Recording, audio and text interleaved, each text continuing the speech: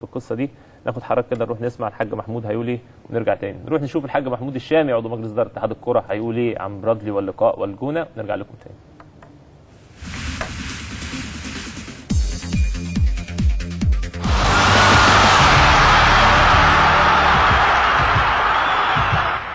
هل باب برادلي المدير الفني لمنتخبنا الوطني اعترض على إقامة المباراة في ملعب الجونة؟ كانت صدمة. انفعال شديد جدا جدا ما كانش متوقع خالص خالص. هو كان متوقع ان التأجيل ده الماتش ده يبقى بروفه كويسة جدا لماتش أكتوبر لأن إحنا قبل اللي حصل في تونس وخروج تونس إحنا أكيد 90% إن إحنا ماتش الأول هيكون في ملعبنا اللي هو أكتوبر. فالماتش اللي هو التصفيات ف عندك ماتش كمان ثلاث أسابيع والماتش ده بروفه مهمه جدا ومساعدك في الترتيب إنك أنت تبقى موجود. فطبعا كانت مفاجأة كبيرة وصدمة لكن إحنا احتوينا الأمور المجهود اللي اتبذل من اتحاد الكره وسيما المهندس آه، هاني ابو ريده في إن هو يجيب الموافقة وشوف موافقة الاتحاد الغيني إنه يلعب في غير الميعاد المحدد اللي هو العصر.